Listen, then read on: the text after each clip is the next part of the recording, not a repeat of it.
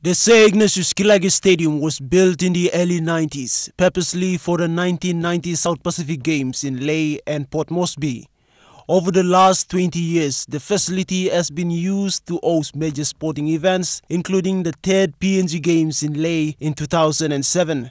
In preparation for the PNG Games this year, the PNG Sports Foundation has decided to give the facility a major revamp as part of their contributions towards the staging of the Games by November 16, everything should be uh, ready to be used, ready to go uh, for PNG Games. The stadium has seen drastic improvements taking place over the last six weeks, both at the outdoor and indoor complex. The netball, volleyball, and swimming facilities are all undergoing refurbishment works to meet international standards for our athletes.